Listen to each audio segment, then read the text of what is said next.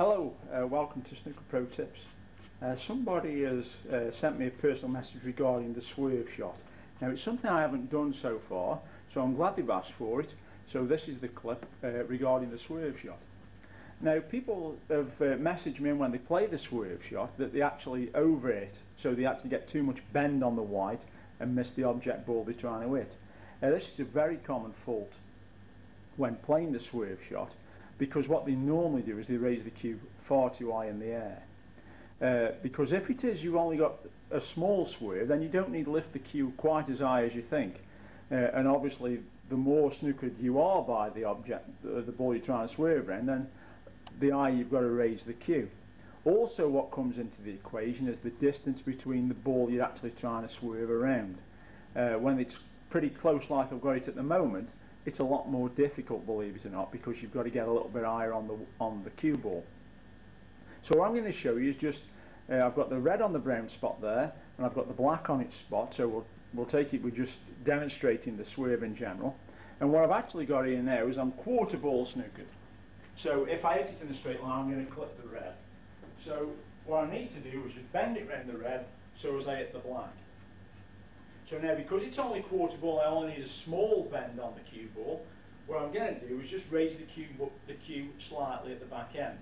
But the important thing is I'm aiming for this spot here. So once I aim for that spot, once the spin kicks in, it then bends round and it's the black. So I'm hitting at 3 o'clock on the white, raising the cue, and then just a nice push through. There you see, just bends round nicely and it's the black. That also works on the other side. If I was snookered the other way, it works in exactly the same way, except that way you'd be hitting 9 o'clock, obviously.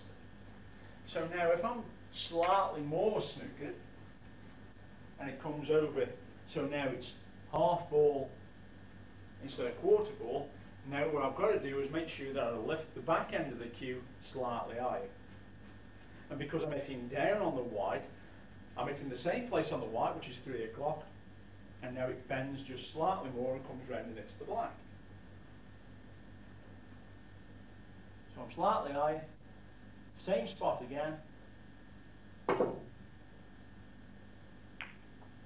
see there, just clipped. Didn't quite get enough on that, but I've still hit the black. I've bent it round and hit the black.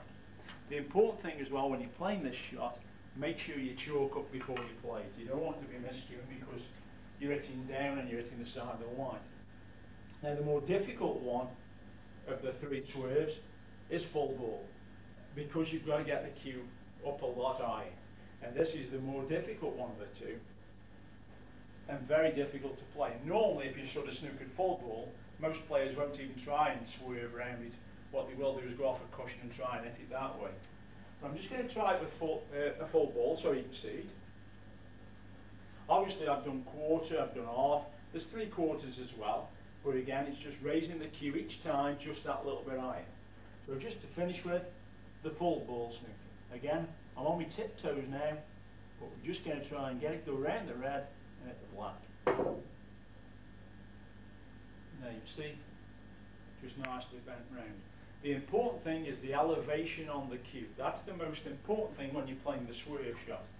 So now, what do we do if it's a little bit further away? So now the, the black is on its spot, the red now has moved a distance now to the blue spot. So again, we quarter ball snooker. And again, all we're aiming for now is this, this patch here. Just a little bit over. So this spot here, but what you've got to do is just put a little bit more pace into the ball because it, it's got to take a longer swing. So it's a little bit more pace in it. Cue's just slightly higher. You see there, again, just a nice hit. As we go just a little bit further over, three quarters, Again, just slightly higher on the white, and again, with just a little bit more pace on it, just to help it round the red. Again, aiming for that spot, 3 o'clock again still. And then see just bending it round. This isn't something you will do straight away, it's quite tricky. Again, if it's full ball, then it becomes very difficult from that position. You must go so high. So here we are. I'll try, I'll try full ball. I won't guarantee getting it because you've got to get the cue so high, hitting down on it. Very difficult shot. You see there, just couldn't quite get it on. I'll have one more go, and that shows you how difficult that actually is to try and do. Because you're not sure when the spin is actually going to take. Each table will vary, cues will vary, so everything about this shot is very difficult. So just one last try. See there, just got too much on that one. So again, one more try, so I've hit the red. Missed it on the, the other side this time, so something that can be done. Last go, third time lucky. There we go, hit it third time. So that there is the swerve in general. But the important thing when you're playing that shot is the elevation of the cue. The thinner it is on the, the ball that you're snookering on, if you're catching it thin, then you don't have to raise the cue as high. Obviously, the thicker it is, then you've got to go up in the air. Now, one or two of you have asked me about the masse shot. I cannot play the masse shot.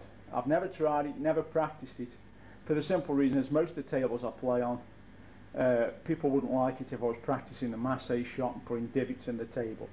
Very difficult thing to do. Uh, there's loads of clips on uh, YouTube with the players who do the masse shot.